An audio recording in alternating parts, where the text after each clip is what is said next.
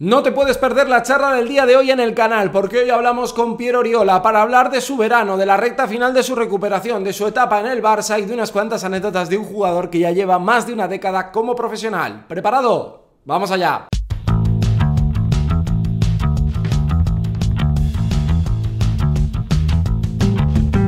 Muy buenas, bienvenidos a mi canal, hablemos de básquet y hoy con un pedazo de protagonista. De verdad, qué ilusión me hace charlar con el que estáis viendo aquí abajo, que ahora le saludo. Pero está Rafa Mundión también, que siempre estamos eh, liando algunas cosillas, hay ¿eh? algunas charlas interesantes. ¿Qué tal? Muy buenas.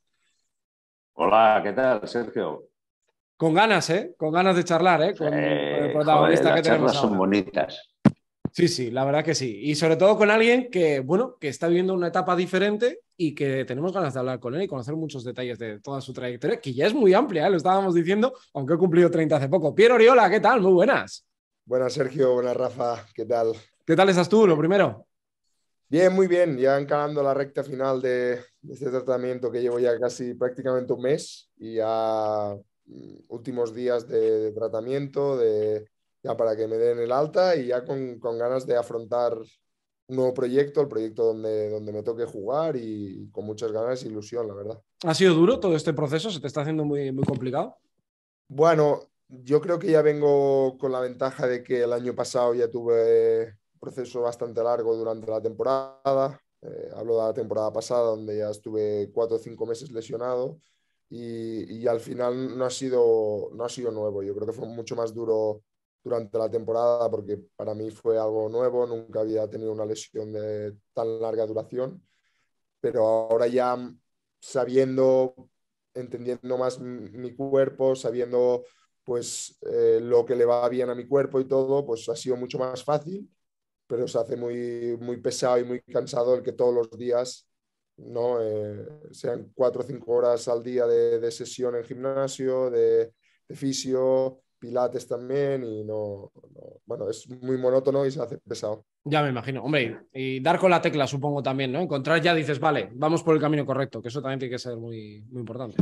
Bueno, le, hemos dado, la verdad que yo también tuve que, que hacer un reset mental porque, bueno, eh, yo soy de esas personas que a la que me encuentro bien ya, ya quiero estar en la pista, ya quiero estar a tope y, esto necesitaba más tiempo. Vine aquí a Madrid para, para tratarme con Joaquín Juan y, la verdad que, como te digo, el, trato está siendo espectacular y, y me encuentro súper bien.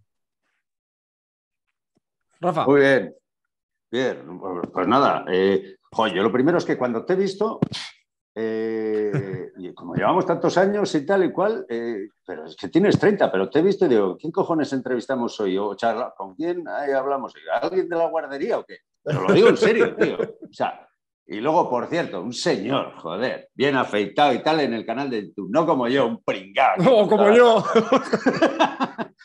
pero joder, si estás hecho un chaval. No, hombre, yo, yo creo que a ver, yo creo que cuando cumples 30 años estás, eso dicen 29, 28, 29, 30, hasta los 32, 33, yo creo que es la mejor época. A mí me ha pillado ahora que, bueno, he tenido esta lesión, como he dicho, nunca me había lesionado, pero sí que al menos de cara, cuando, cuando me ves sin barba parezco mucho más joven, o sea que, que mira, a ver si esto puede, a, ver si esto puede acojonas, acojonas menos, ¿eh? sin barba, eso sí, ¿eh? Eso sí, un poco menos a ver si puede ayudar a algún general manager a, convencerles de que soy más joven de lo que pone mi ficha y oye, Porque ha sido, joder, llevas unas cuantas batallas, eh, pero, pero ha sido un verano curioso, ¿eh? un verano curioso. Aún para alguien que lleva unas cuantas batallas, el, bueno, llevar este tipo de situación, joder. Sí, a, ver, yo, creo que son, he vivido dos, situaciones que no han sido fáciles. Mi, lesión, que al final pues parecía que ya la había dejado a un lado y, oye, todo iba bien, pero, pero al volver a la pista, volver a probarme, volver a estar pues, más en contacto, tuve otra vez un, pequeño pinchazo que, hizo que, que, todo pues, volviera atrás y aparte pues el, despido con el Barça, el, finalizar mi etapa en el, club donde siempre, como he dicho, quería estar, en el club donde soñaba desde pequeño. Pero bueno, siempre lo digo, son etapas de la vida, hay que valorar todo lo que he hecho y, todo lo que he vivido, porque ha sido muchísimo, Y, oye, ahora toca mirar para adelante, mirar a otra, otra etapa, otro reto. Yo soy muy de retos y, me encantan y, oye, afrontarlos con el mayor de, de, las fuerzas, de la energía y el positivismo posible. Hombre, es que eh, igual la gente, claro, desde 2017 en el Barça, la gente no piensa que ha sido siempre así. Tu carrera es de las que te ha costado llegar, ya consigues luego la liga con el Valencia y ya pasas al Barça y con la selección y todo lo que has hecho. Pero yo me acuerdo, y se lo he dicho a Rafa, creo que el quinto o sexto partido que juegas, yo me acuerdo de verte con Manresa en el Buesa. Pues, y, mira, no, sé si, no sé si recuerda, bueno, yo recuerdo muy bien ese partido porque vino mi familia a verme y estaba en ese equipo Mirza Teletovic y yo tuve que defenderle. Sí, sí. Y tengo aquí un recadito suyo, tengo aquí cinco, seis, tengo aquí cinco o seis grapas y, mi padre siempre me lo recuerda. No, hostia, ¿te acuerdas ese partido en el Buesa que fue, no sé, eso lo has dicho? 2010-2011. 2010-2011. Y, y en, no sé si fue en un rebote o, una acción que él penetró y, pues, fue sin querer, evidentemente, ¿eh? fue algo fruto del juego, sí, claro. pero, pero me dio y, sí que recuerdo al, tener aquí pues los puntos de que después me pusieron unas grapas o me cosieron y mi padre siempre me dice, ¿te acuerdas que tuviste que defender a Teletovic? Y era, era, era muy difícil porque, bueno, abría el campo, tiraba, era fuerte, era duro. Y, bueno, fue esa, fue esa primera vez en el Sí, es que yo, me, yo, de verdad, de esas cosas que ves un jugador, yo no estaba trabajando con Rafa todavía, y me acuerdo, me acordé de ti, y cuando siempre te he visto, digo, ostras, de aquel jugador que vi en Manresa, ¿no? Al crecimiento Castellón. Pues, el año siguiente fuimos a jugar al, a la plaza de, Toros. Sí, a la plaza de Toros. Sí, porque el Huesa no sé qué pasaba, estaba Estaban poniendo la cúpula, haciendo mal. Y jugamos allí, que recuerdo que era el equipo, nosotros teníamos a Micah Downs, teníamos a Josh Asselin, Sergi Gladir, eh, Justin Dolman en ese equipo, Javi Rodríguez. Sí, es que yo a lo que voy es que tu carrera ha sido muy progresiva, has crecido mucho, ¿no? Te tuviste que mover hasta encontrarte y estar donde has estado hasta ahora. Sí, no, no ha sido fácil porque evidentemente yo y eso soy consciente de ello. Yo creo que no tengo un don como pueden tener otros jugadores y yo he tenido que buscar mi carrera, he tenido que buscar mi sitio. Eh, creo que tengo algo porque no llegas a ser profesional si no tienes nada, pero, pero siempre en los equipos que he estado he buscado mi sitio y, creo que siempre lo he encontrado, siempre me he adaptado a todas las situaciones que, que el entrenador y el equipo han necesitado. Y hoy estoy, ya te digo, ni en mis mejores sueños hubiese pensado tener la carrera que he tenido hasta ahora. Eh, seguro que nos contarás muchas anécdotas, ¿no? Pero por mi parte, porque además aquí no buscamos eh, de historias de estas, ¿no? Por cerrar un poquitín esto de, del Barça, eh, bueno, ¿cómo ha sido un poco esa despedida en lo personal? Porque tienes mucha gente conocida, francamente amigos, supongo, y, también un poco en lo profesional, o al final el business es el business, aunque todo va mezclado y, y así hay que entenderlo. Igual el deporte de élite, no lo sé. No, a ver, yo lo entendí, pese a que, bueno, yo, como he dicho ya en algunas entrevistas, eh, creo que aún me queda cuerda, cuerda y muchas cosas que, que poder aportar. Sí que es verdad que, bueno, pues al final tú tienes que apechugar con ello, tienes que entenderlo, como he dicho, o como has dicho tú, es un negocio, es un business, y oye, eh, sin, sin, problema, evidentemente, pues han sido muchos años, han, sido cinco años compartiendo vestuario con mucha gente. Evidentemente he tenido muchas muestras de cariño de, ex compañeros, incluso de compañeros, de, gente del staff. Eh, incluso hablé con Saras también y oye, y, súper bien también. O sea que ya te digo, ningún problema con nadie porque, como te digo, al final es una decisión del club, es una decisión, yo creo que para mejorar al, al equipo y oye, hay que apechugarlo, hay que acatarlo y, seguir mi camino. Yo, como he dicho, les deseo lo mejor, que primero soy del Barça, que, ser, que ser jugador soy del Barça y soy muy del Barça, y les deseo lo mejor, menos el día que jueguen contra, contra el equipo que yo esté, pues ese día les desearé que, oye, tengan un mal partido, que alguno de ellos tenga un dolor de vientre y que, y que ese día no estén enchufados.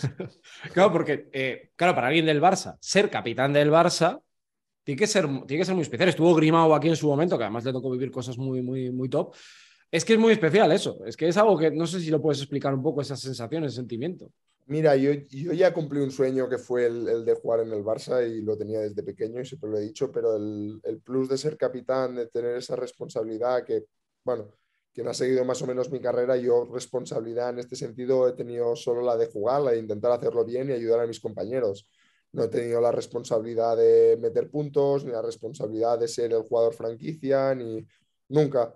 Entonces, solo me he dedicado a intentar ayudar, a intentar ser un engranaje más dentro de un proyecto deportivo y el hecho de ser capitán pues tenía ese plus añadido que, que yo creo que me ha hecho también mucho crecer y, me ha ayudado mucho a, sobre todo, pues la situación del año pasado, a, oye, pese a no jugar, estar animando a los compañeros, estar arropándoles y, estar positivo, que al final era lo que en ese momento pues tenía que hacer. Y aquí eh, ya eh, supongo que has visto además algunas charlas, ya sabes que no somos de exclusivas, aceptamos ese peso eh, con, con, naturalidad también, ¿no? Eh, sí podemos decir que manejas ahora mismo dos grandes ofertas, que una es trabajar con el, aquí en el canal YouTube de Sergio y la otra por ahí en, Girona. Son dos buenas ofertas. No hables de las condiciones económicas, Pierre, por favor. Exacto, no, de momento no. Pero me da que quieres seguir jugando un poco más, ¿no? un poco bastante más. Me han preguntado mucho si, si me había, por mi cabeza había rondado el retirarme. Hombre, primero ya solo estar en el canal ya me habéis tirado un piropo que parecía más joven, o sea que... no, no, no. Yo creo que aún me quedan muchas batallas. Eh, la opción de Girona está, evidentemente, eh, porque, bueno, eh, el interés es, es, yo creo que es, por su parte, está ahí. A mí no me importaría como estar con Mark y en el proyecto, pero ya te digo, de momento no, no hay nada cerrado, no hay nada aún hecho. Y, yo la verdad que me he centrado mucho en recuperarme, lo hablé con mi agente, con David, le dije que, que, yo no quería hablar ahora mismo ni de ofertas ni de nada, que cuando estuviese recuperado, pues, oye, hablemos de lo que sea, miramos la opción que sea mejor para mi carrera y para mi futuro y, y ya está, pero no quería hablar de ofertas ni de, ni de futuros proyectos, porque al final quería estar focalizado solo en recuperarme. Es que, de todas maneras, ¿cómo, ¿cómo, es de injusto? Perdón, Rafa, el mercado porque 30 años, una carrera como la que tienes tú, te lesionas y no sé, claro, tú lo vives desde dentro, pero no, no, ya no vale para la Euroliga. Hombre, si Pierre está bien, a ver, que estuvo en los Juegos Olímpicos hace un año, me refiero que, que, es que sigue siendo un jugador para mí para poder jugar en Euroliga. Bueno, es complicado también porque al final yo creo que los equipos eh, están pendientes de mi espalda, es normal, es una lesión muy complicada, es una lesión que, que he vuelto a recaer, que, que ha habido mucho silencio alrededor mío durante muchos meses.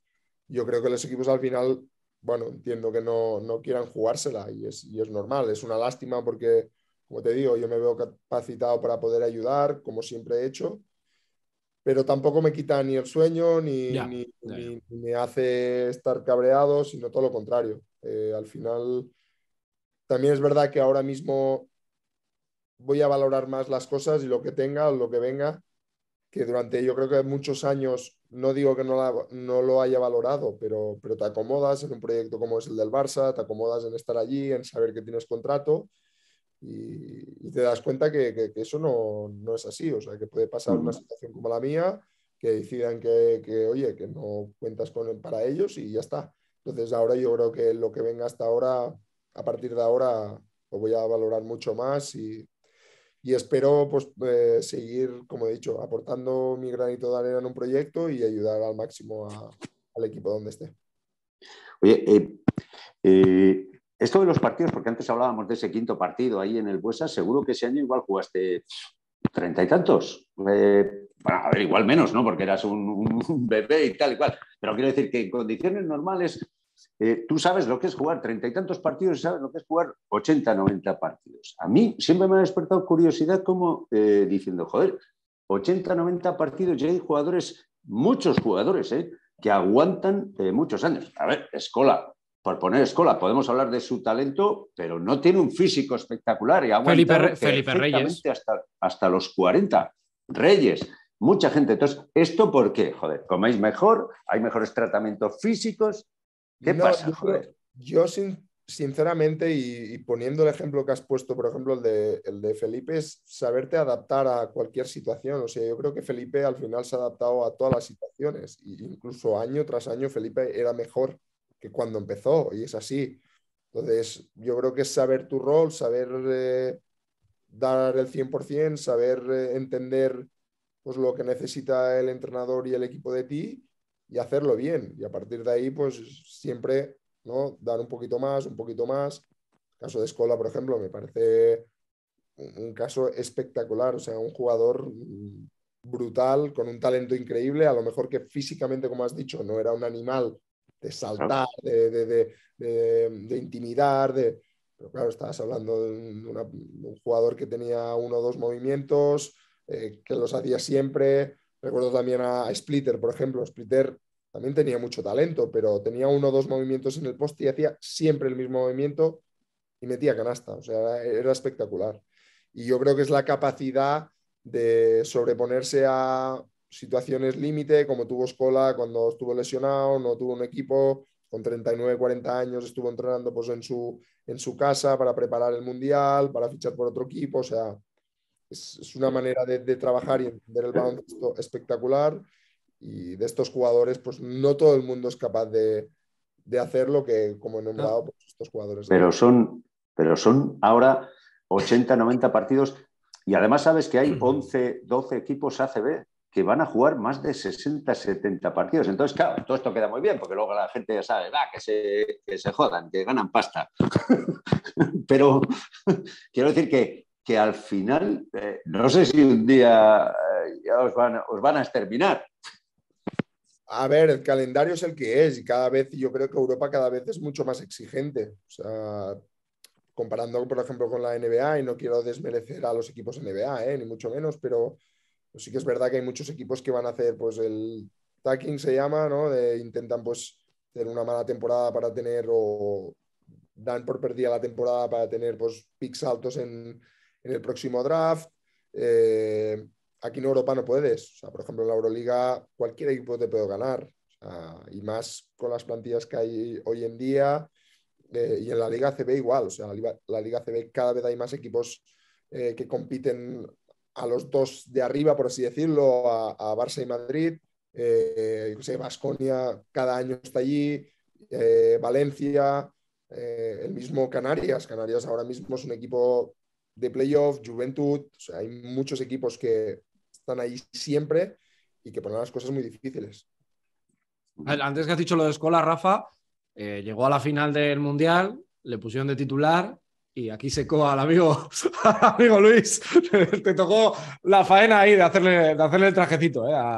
no, sé si, no sé si le sequé, yo creo que también venía cansado, venía de, hacer un partidazo en semifinales, que no sé si metió treinta y pico puntos, pero, pero bueno, eso fue mi, mi, misión. O sea, Sergio a la que me dijo, ¿vas a ser titular? Claro, yo dije, hostia, vamos a hablar, lo que estoy ya tratando de ser titular en un mundial, de defender a, al jugador franquicia de ese equipo, sí que estaba Facu sí que estaba Deck, pero bueno, el, jugador, digamos, estrella estaba Lapro también, pero el jugador estrella de ese equipo era eh, Luis. Y salió bien, salió bien y muy contento y fue una experiencia espectacular. Oye, te, te pregunto, dime, Rafa. No, no, iba a decir que tienes varias medallas. Eh, tienes además un campeonato de liga sin que sea eh, Real Madrid o Barcelona dada tu condición en el Real Madrid, no, no, te hemos visto ni te veremos, pero tu manifestación ya. Bueno, eh, pero quiero decir que eh, has ganado una liga con, con, Valencia, pero esa medallita, ese oro con campeonato del mundo, hostia, esto, esto me lo llevo para casa, esto, esto es mío. Eso, cuidado.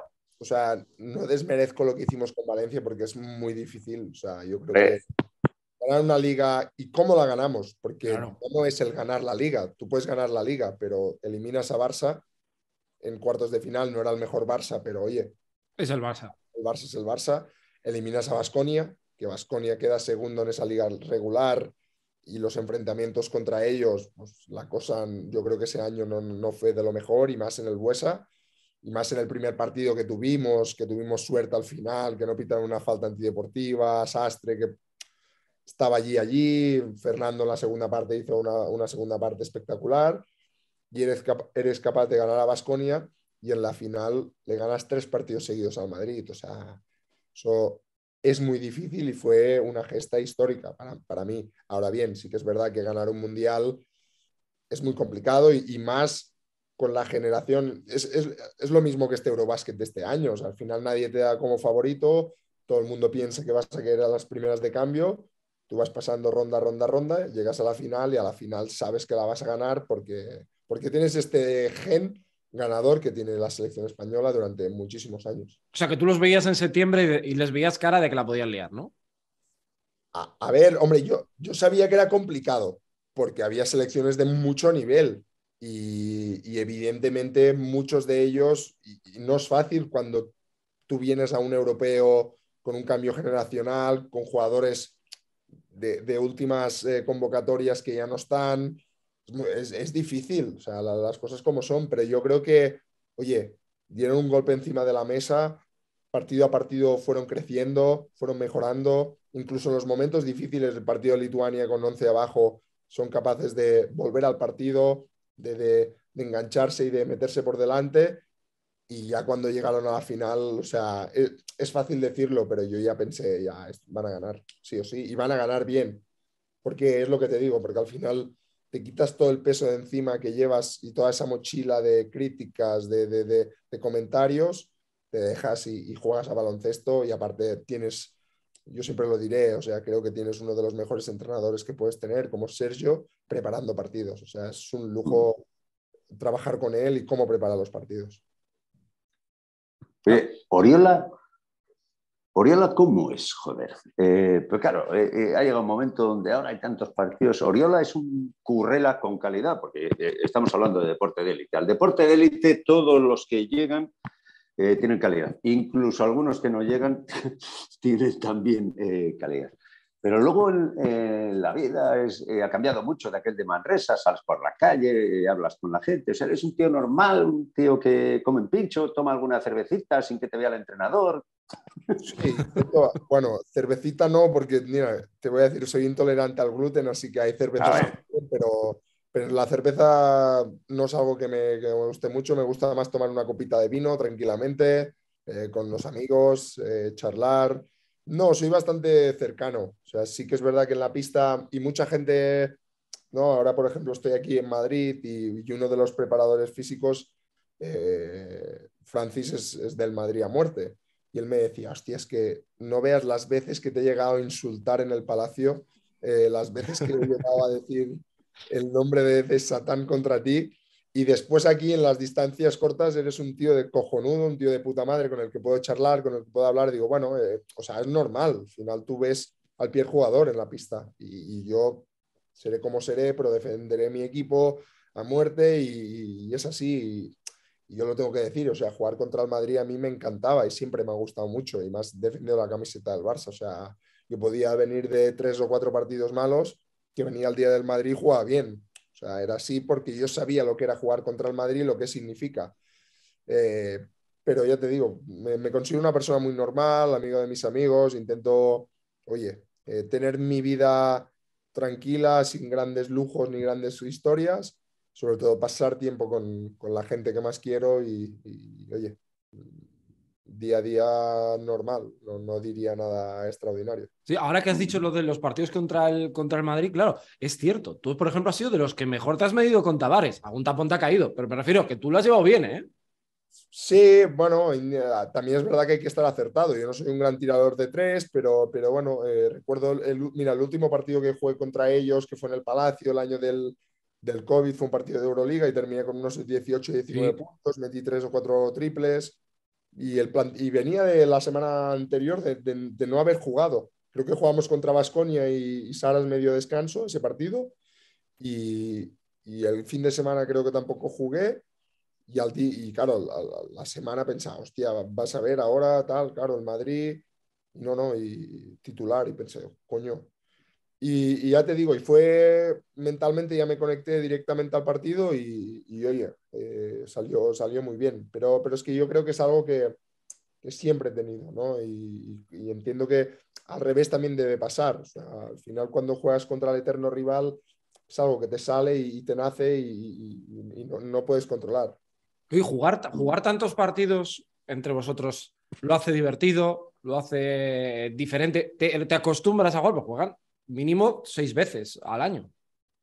No, no, es como antes. Yo creo que antes al final eh, podías esconder más cosas, podías sorprender más al rival. Ahora es que es muy difícil porque juegas, llegas a la final de la Supercopa, juegas contra ellos, juegas dos partidos eh, de Euroliga, dos partidos de Liga CE, si encima te mides en playoff en la Copa del Rey, si llegas también a la Final Four de Euroliga, o sea, esconder cosas contra ellos es muy complicado.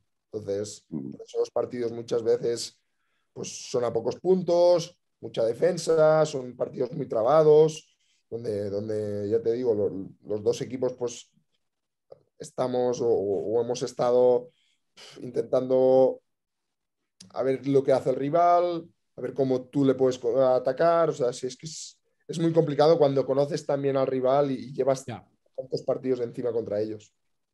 Mm. Vas a, a ver la Euroliga bueno, como no tienes equipo, igual hasta la puedes jugar, vamos. No, sí, sí, la, voy a ver, la voy a ver. sí, correcto. Eh, entonces, iba un poco, claro, has jugado muchos partidos de Euroliga, has jugado hasta Final Four, ¿no?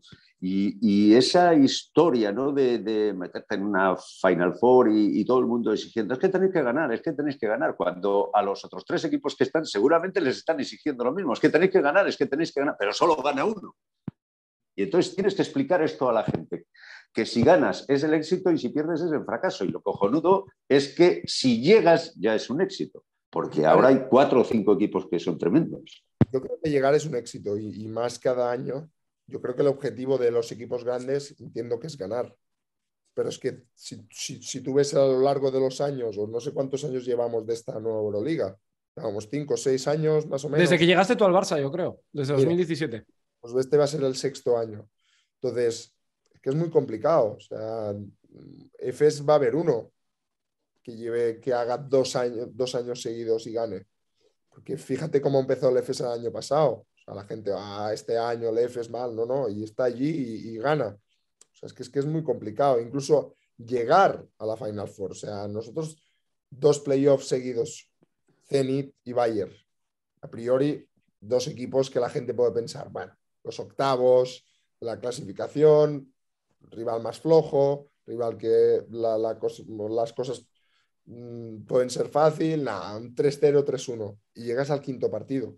Llegas al quinto partido con el culo así, diciendo, es que si no gano, entonces iba a ser un fracaso, porque se espera que tú llegues a la Final Four. Entonces ya mentalmente ya vas, ¿sabes? Eh, preparado, yo creo, a la Final Four después de un playoff. Ahora bien, en la Final Four puede pasar y nosotros tuvimos una muy buena primera parte contra el Madrid este año y la segunda parte no supimos a jugarle, el Madrid supo jugar mejor y ganó. Y el año anterior, pues mm, éramos nuevos en este sentido a una Final Four, llegamos a la final y yo creo que si Calates llega a estar en condiciones físicas bien, no sé qué hubiese pasado, pero más opciones hubiésemos tenido seguro.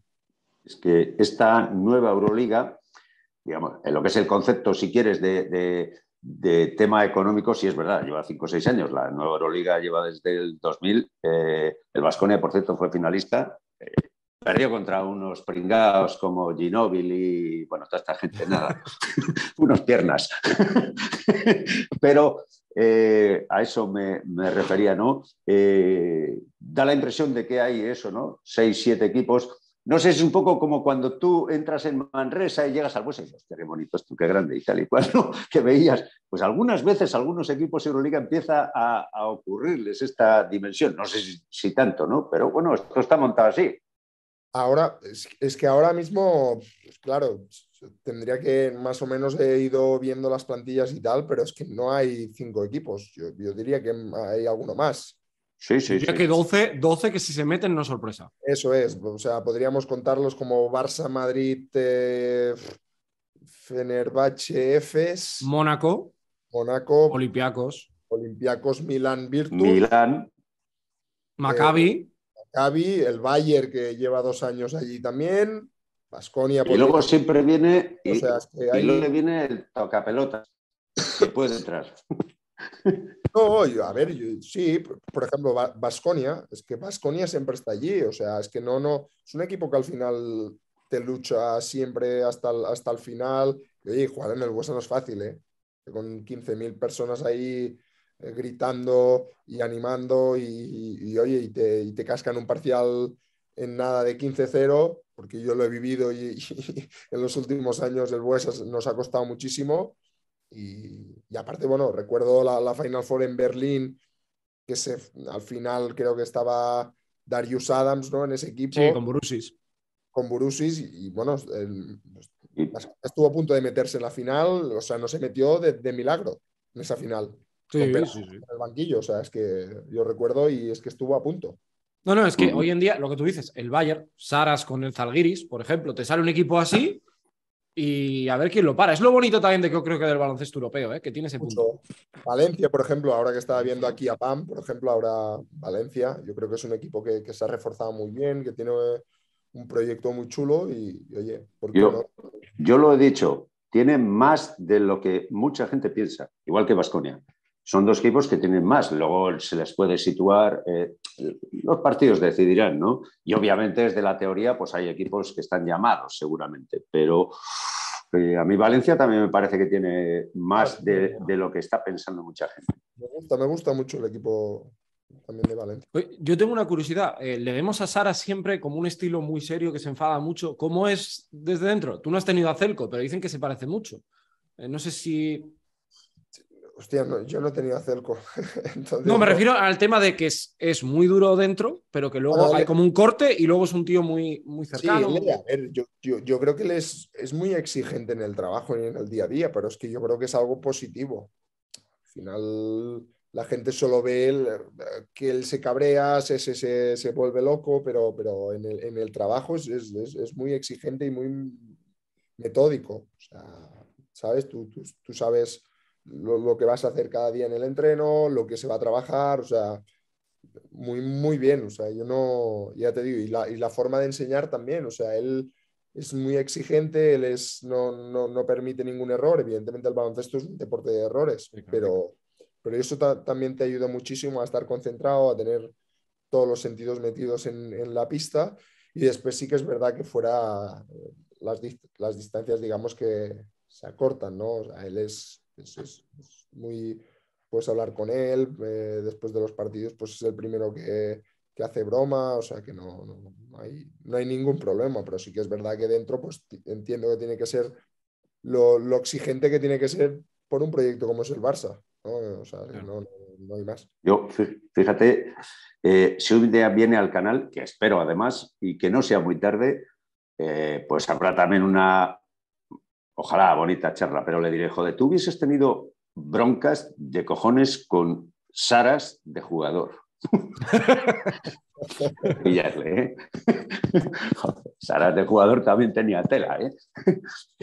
Pero bueno, esto es así. Era muy bueno, buenísimo. Hablando de un. Seguramente uno de los, de los mejores bases europeos de la historia. un instinto asesino y un instinto de killer brutal. Y porque en Lituania está Sabonis. Si no, eh, se discutirían cosas, ¿eh? Bueno, yo no, sé muchos jugadores lituanos, pero, pero oye, seguramente de, los mejores, top 3, top 5, seguro. Sí, sí, sí, sí, total, totalmente, la verdad. Eh, una pregunta, ¿ves mucho básquet ahora? Ahora, ¿cómo es tu día a día? Claro, tú tienes tus sesiones, te dices, estás 3-4 horas, ¿qué es lo que haces ahora? Eh, bueno, yo estoy en un hotel, entonces ah, intento aprovechar para leer, eh, intento aprovechar también, ahora que hay fútbol, me encanta el fútbol también, entonces estuve viendo ayer la Champions y tal, hoy voy a ver un poco de Euroliga esta noche, eh, sigo un poco la NBA, no mucho, pero intento seguir también a, los dos hermanos, a Juancho y a Billy, a ver cómo les va, y, y también a Ricky cuando vuelva también intento seguirle, pero bueno, este es un poco mi día a día. Claro, con, Billy coincidiste, vamos, con, Billy enseguida, joder. ¿Cómo? Primero la mía. No, primero, yo, yo te digo que Sergio y yo vamos enseguida, solemos ir ahí de vez en cuando, ya te sacamos un poco a pasear ahí. Hasta que Vamos a Madrid a hacer algún encuentres partido. el sitio, ya te, ya te sacamos un poco ahí. aunque, tú, aunque tú seguro que sales bien, ¿eh? también, pero bueno. No, no, intento, ya te digo, me, me encanta Madrid, o sea, me parece una ciudad espectacular, pero, pero bueno, estoy, como os he dicho, estoy bastante centrado en, en intentar eh, recuperarme, ya te digo, son los últimos días que tengo ya de, de recuperación, Ya. pero, pero sí que intento seguir el baloncesto y, y ver partidos porque se aprende muchísimo ¿eh? también, o sea, mirando, yo también soy muy de fijarme en un jugador y, y seguirle todo el partido, a ver cómo, cómo juega, cómo hace las cosas y eso también se aprende muchísimo viendo. Hombre, porque tu juego ha evolucionado mucho, ¿eh? Eso te iba a preguntar, del Billy de Sevilla, por ejemplo, que igual es el que la gente, o sea, del, del Oriola de Sevilla, que coincides con Billy, al que hemos visto ahora en Valencia y luego vimos en el Barça, es un jugador muy distinto. Sí, sí, he evolucionado. Yo creo que cada año he ido eh, acoplando algo en el juego. Eh, sí que es verdad que los primeros años tenda- ten- tendía más a estar más interior, a, a, pues, a rebotear bien, a continuar fuerte, jugar sin balón y cada vez he ido acoplando cosas nuevas, como abriendo el campo, ser capaz de alguna acción, pues, oye, intentar sellar dentro corriendo contraataque bien y finalizar. Bueno, evolucionando un poco y eso al final lo hace que me considero una persona bastante eh, ambiciosa, una persona que quiere mejorar y si hay algo que no se le da bien, pues intentar que se me dé un poquito mejor. No tan mal, pero sí un poquito mejor. A ver, Rafa, que te habías ido por ahí a dar una vuelta. ¿A dónde has ido? Eh, no, perdón, ¿eh? porque sabes que hay ruidos en las casas, eh, algunas veces hay que... bueno, es que, Pierre, no sé, si eres muy de, no sé si eres muy de perros. Lo que tiene Rafa no es un perro, es prácticamente un oso. Tengo un 5, tío, tengo un 5. Pero además de los, de los cinco de antes, Pierre, ese no se mueve ni le mueven de la zona. Tienes, una- tienes a un Audi Norris como perro, ¿no? Eso, Pues- tengo pues- un bicharraco ahí. Pues, pues casi 60 casi. kilos. Yo tengo un labrador y vi al perro que es más bueno que y me intimidó de lo grande que es, de lo que se quería acercar. Y "Ostras". Pero luego nada, luego es eh, ta- también las distancias cortas, muy tranquilo. Eso sí, la foto de algún. Yo- es que tampoco tengo, joder, pero si no, algún día, si tengo algún día la foto de algún indeseable, igual se la pongo, joder. pero buen, buen perro. Oye, por, por- por terminar, Pierre, eh, no te entretenemos más, pero eh, ¿tienes fechas en tu cabeza? Eh, final de año, eh, ahora en un mes. ¿Cómo te planteas ahora a medio plazo? Eh, ahora mismo me planteo estos, me queda hoy y mañana como trata- de tratamiento, me planteo estos dos días eh, y a partir de ahí espero ya encarrilar mi futuro. Eh, yo no, no, no puede ser ya, o sea, es decir, imagínate el, el sábado o el domingo empezar ya Sí. del 0 a 100, o sea, tiene un proceso al menos mínimo de una semana de, de de acoplamiento en la pista de baloncesto porque llevo prácticamente mes, mes y medio sin tocar un balón, pero, pero la idea es esta, la idea es cuanto antes empezar un proyecto, ya te digo, no lo sé, esto, Sí, si sí. queréis más información tendréis que llamar a mi agente, a David No, no, no, no. Yo era simplemente por saber. por o sea, que en noviembre no, te no, vamos a ver pero- jugando a baloncesto, que esto es Pero importante. sí, sí, yo creo que Vale, lo antes, como antes, lo antes posible y espero que, que oye, sea, como os he dicho, un proyecto ambicioso, un proyecto chulo y, y donde yo pueda ser partícipe y ayudar al máximo. David, David es tu agente. David Carro. Joder, es que, sí, hombre, ya lo conocemos. Yo también esto de los agentes, tampoco lo sé, pero joder, también tiene lío, ¿eh? Con, con Luca, con Campazo y tal. Hay, hay lío también por ahí, ¿eh? Tiene mucho trabajo, pero bueno, eso está bien, tío. Es que tienes... Eso es lo importante, que tenga mucho Joder. trabajo. Efectivamente. Efectivamente, ese es un mundo que daría para. Ya tuvimos aquí, tuvimos aquí a Quique Villalobos y que es un tipo bastante tranquilo y muy bueno, por cierto, pero contó muchas cosas que tela, ¿eh? Tela. Sí. Entiendo que tienen también sus, sus cosas y al final, oye, también tienen sus dolores de cabeza para intentar colocar a los jugadores, para intentar encontrarles equipo y oye, al final es como, como otro trabajo más y, y ya está. Yo ya te digo, le agradezco siempre que esté allí, que me mande un mensaje, que, que- que me ayude y oye, y muy bien. Yo creo que además David Carro es eh, periodista. Fue, fue- Eh, Sí, yo he hecho alguna colaboración o al con menos él. eh, Sí, sí. crónicas escribía y esto. O sea, para que veas que los periodistas tampoco somos todos unos cabrones. Eh, Oriola, por lo menos el que te lleva a ti, no. Ah, pues, para ti. no, a, mí no, a mí no me cogió como periodista, o sea que no lo sé. si- Ya. No, pero bueno, siempre Pero- queda pero- algo. Siempre queda. No, pero algún día se puede pasar David, porque además yo he tenido la oportunidad de charlar con él y es un tío, un tío muy majo, ¿eh? muy persona. Así que. Oye, un tío de. Sí. No, no, Sergio. La última, no, no, la última, para ir cerrando ya. Yo, por mí, un tío de Tárrega tiene un plato de estos que diga, yo soy de Tárrega, tío, este es el plato más cojonudo que hay. Porque aquí la comida es fundamental, como sabes. ¿eh? O sea, un plato que hay en Tárrega, típico. Sí, que tú nos recomendarías.